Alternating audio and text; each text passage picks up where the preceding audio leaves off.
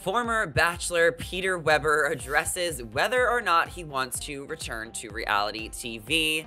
Hey guys, and welcome back to another shared news. We've got all the details on the updates of Pilot Pete. But before we get into it, if you guys are new here, make sure you're subscribed to our channel and ring the bell so you never miss out on any future videos. As always, I'm your host, Zachary Reality, and there has been so many rumors that Peter Weber was going to be the Bachelor again, and he is shutting them down, saying he is not interested in being the Bachelor again after his dramatic After the Final Rose special. However, Peter is in fact interested in another ABC competition show, that being Dancing with the Stars. Peter says, Hell yeah, 100%. I was so bummed when I didn't get to do it after my season, but hey, it is what it is well, maybe he wasn't able to do it after his season because his season didn't end well. If you guys don't remember, Peter got engaged to Hannah Ann on the finale of The Bachelor, and then by after the final rose, he already had broken up with Hannah Ann and was trying to get back together with his runner-up, Maddie,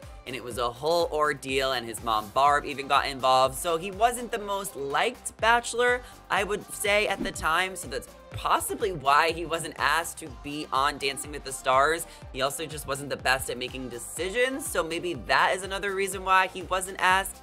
However, you know, maybe he could return for a future season. We know Dancing with the Stars loves to bring on Bachelor contestants. This season airing right now, we had Matt James on, who was an early eliminee, but we've also had other former Bachelors like Sean Lowe, Nick Viall, and Chris Soules as well as former Bachelorettes Kaitlyn Bristowe and Hannah Brown, who actually both took home the Mirror Ball the last two years for the Bachelorettes and Bachelor Nation. And Pilot Pete is actually determined to get on Dancing with the Stars and get back into the spotlight. He actually really wants to be on this, so he is putting it out in the universe, and he says, never say never, I'm gonna manifest it. The commercial pilot says, I'm going to put it out there, Mirror Ball, I am coming for you.